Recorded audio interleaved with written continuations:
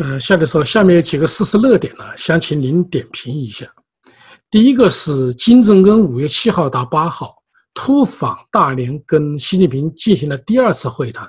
这一次会谈呢，距离第一次会谈在北京的也只有四十余天。为什么会这么频繁的接触，并且是在川跟川普会面之前，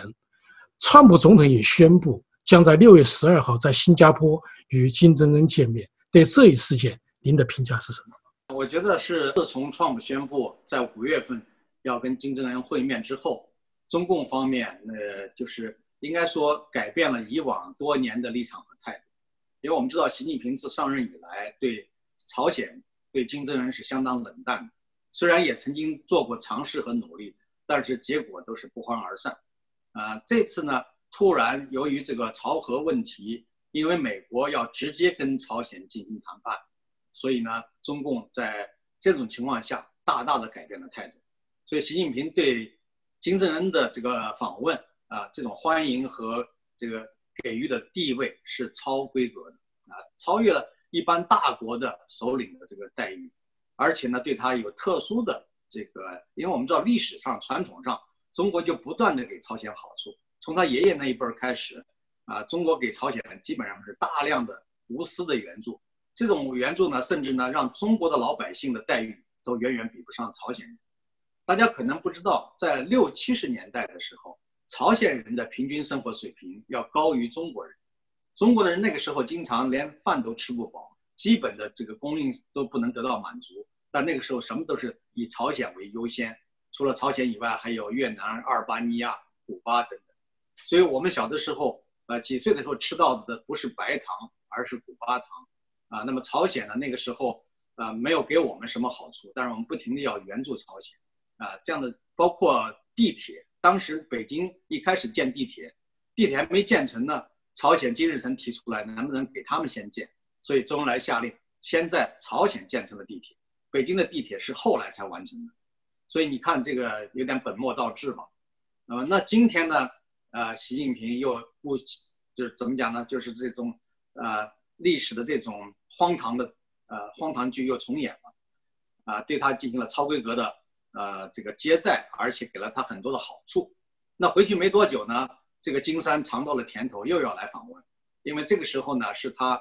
讨价还价的好时机。这个小流氓知道，在这个时候讨价还价是最有效的，啊，所以这个时候呢，在大连棒槌岛跟习近平见面。又狮子大开口，提出更多的物质经济方面的要求，那习近平肯定都是慷国民之慨啊，大笔一挥，都都同意，都满足。所以你看看金正恩的妹妹啊，那个在朝鲜在跟韩国进行会谈的时候，在板门店，你看那个高傲的那个冷酷的面庞是什么样子的？那个眼神，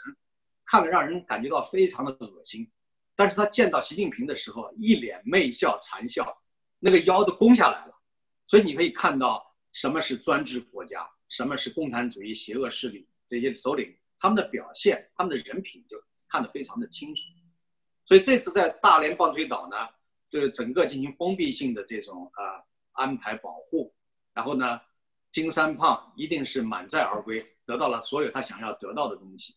啊，那么这样的话呢，等于是让美国呃肯定是感到不满，虽然创不在。推特上没有公开的来抨击这个现象，但内心里边总是觉得你中国在玩什么名堂啊？我说要跟他见面，你就不停的玩这种啊私下里边会面的把把戏，这不就是明摆明了两个人要共同对付我吗？对吧？其实不仅是两个国家了，还有这个俄罗斯，所以我这个最近的一个分析啊，就是我说这个冷战新格局啊，或者讲新冷战已经开始啊，包括中国、朝鲜、俄罗斯还有伊朗。啊，那么这些四个国家很有可能形成新的邪恶轴心国，啊，到那个时候的话，整个世界的和平和安全会遭受新的威胁和挑战。所以在这种情况下呢，呃，这个这两个专制国家领导人啊进行的这样一个亲密的会谈，啊，不会对这个东亚的紧张局势造成啊这个和平方面的推进，反而会相反，会加剧这个。呃，半岛的紧张局势，啊，不确定性就大大的增加了。所以呢，现在川普呢选择了一个第三地，而不是原来川普在推特上曾经说过，如果在板门店谈也很好，那也很方便。对于金正恩来讲的话，安全措施是没有问题，啊，而且川普本人呢从来不惧怕，他认为他自己到平壤去跟金正恩去谈都没有问题。但是美方的白宫其他的一些幕僚是坚决反对，啊，所以呢，这个现在的情况呢，选择在第三地进行谈判的话，也可能会产生一些新的啊，就是说，就跟前两个月不同的一些想法。所以我想呢，这个我们是拭目以待，看看这个结果会怎么样。夏教授，这个世界格局啊，确实在每天发生变化。呃，已经九十二岁的马来西亚前总理马哈蒂尔啊，再次赢得大选，并且呢，再次担任总理。对于这一变化，您的看法是什么？呃，我觉得主要是马来西亚民众对前任总理呢有相当大的不满，